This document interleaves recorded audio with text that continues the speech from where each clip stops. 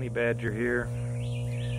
Don't you hate it when you're sitting out in your backyard enjoying your coffee in the morning, listening to the birds sing, and all of a sudden you hear this.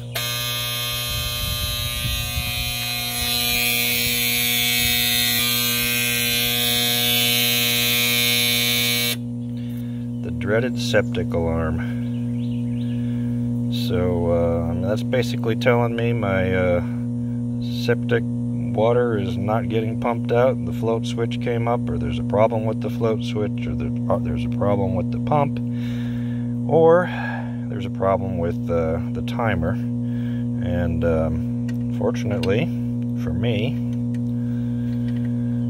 I took a look in here and this is what I found. Nice charred contact from, from the coming out of the timer. So uh, this timer's blown. Uh, you can check it. These are this is a mechanical uh, Intermatic style uh, timer, and you know normally when you when you turn these things, when it goes from the off position to the on position, you'll hear a click, and um, I'm just not hearing anything. So, I mean, this, this timer's definitely dead. So, uh, this is an easy fix. Uh, these are about like 50 bucks on Amazon, readily available. So, um, anyway, time to order a new timer. Yeah, I just thought I'd give you another look here. Look at that baby. It's just smoked charred. Definitely bad. I could have sworn I replaced this not too long ago, but um, there you have it.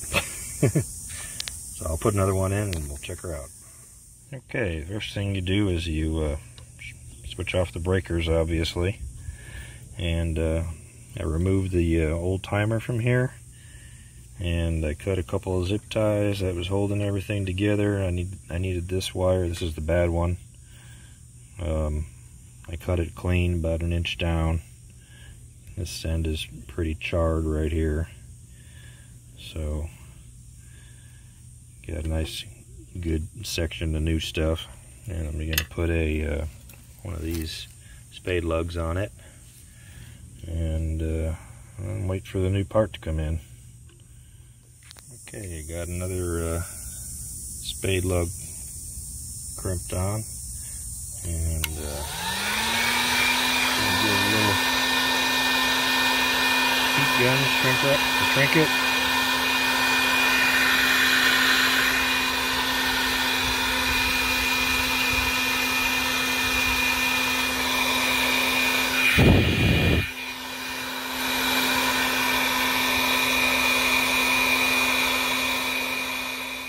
Okay, I used a little heat gun and uh, did some heat shrinking of these. These are heat shrinkable connectors. Uh, so this is the one I replaced.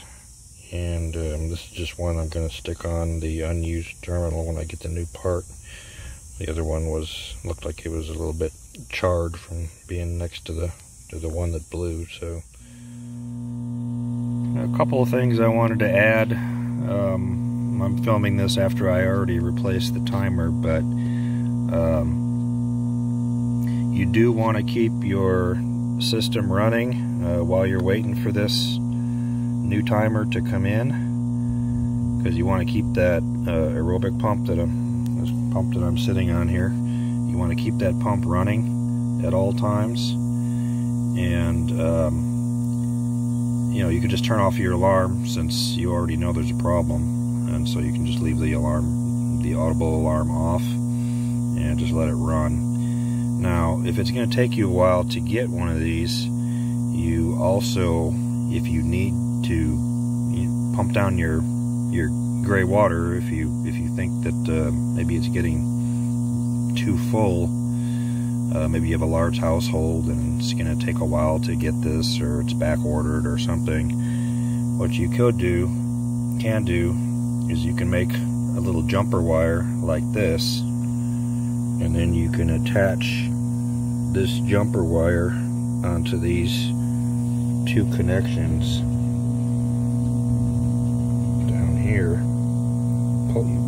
Take those two connections off because you're essentially replacing this the switch with this jumper wire. And so turn off the power, connect this up, turn the power back on, um, let the system run until the alarm goes off or maybe till like you know 30 minutes or so after the alarm goes off and then you'll get the the gray water down to a, a decent level. And then you can uh, just disconnect this uh, turn it back off disconnect this and then turn it back on again to keep the uh, the uh, aerobic pump air pump going and then you can just do that you know as often as you need to to uh, keep the system pumped down until you get your replacement timer.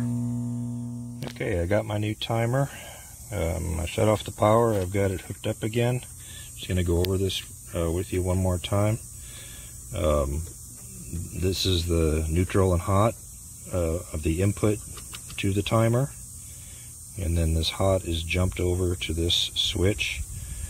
And so uh, when the timer goes off to when you want it to operate, uh, when you want the pump to operate, the switch will switch from here to here. And uh, that's why you've got this, this line here. And that's going to uh, energize your submersible pump to pump out the, the water in your aerobic system. Uh, there's a very good reason to have this one on here. Um, it's a safety reason because this this leg is actually hot when the timer is not uh, spraying. So make sure that you replace uh, that piece, even though there's no wires connected to it, because there will be 120 volts on this line right here. Um, so another thing to be careful of when you're attaching it, this didn't come with any adhesive, unfortunately. So I'm just going to use some uh, double-sided sticky tape, but you want to get it, make sure that the door can close. You don't want to put it too far over and then you can't shut the door you know before you stick it on. Um, get it close enough that the door can close but you don't want it too far over because then it, it's going to hit this these these breakers over here and uh, you won't be able to close the door.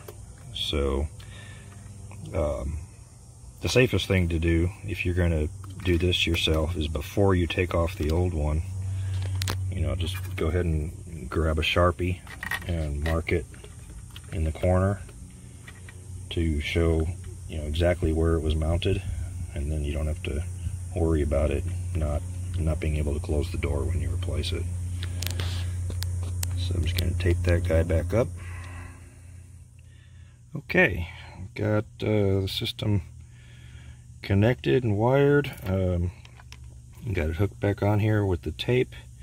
I have the time set to the current time. And um, I, I'm going to turn this on manually. And you know if you don't have one of these then just you know set it to to where you're spraying. Um, I just want to get rid of the uh, water that's in the tank I don't know how full it is um, so I'm just gonna let it run and turn on the alarm let it run until the alarm goes off and then I can just return it back to normal operation. Um, uh, like I said earlier, uh, make sure you tape it in the right spot. You can see there's almost no clearance there. I had to mount it very close in order to be able to close this thing. So um, when you're mounting it, actually I recommend before you before you take off the old one, just use a Sharpie and mark the location of this uh, unit before you take it off, and that way you'll know exactly where to put it back on again. And uh, that's about it. I'm going to turn her on. I've got it set on. Close her up. And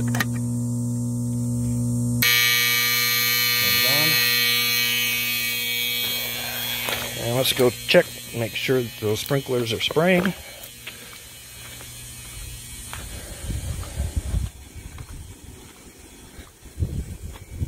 And there they are, out in the backyard, there in the middle. You can see the spray, they're spraying. So, you know, it's a pretty simple job. Uh, especially if you take pictures, you know, take pictures bef before you disconnect it and just put everything back the way that it was. And uh, it's a very simple, simple thing to fix. Um, you know, fortunately, I didn't have to go do anything in the in the tank, um, which I mean, that's not also a difficult job, but I'd rather replace a timer than than mess with the gray water tank myself. So uh, hopefully this is helpful to you. Thank you for watching, and Honey Badger out.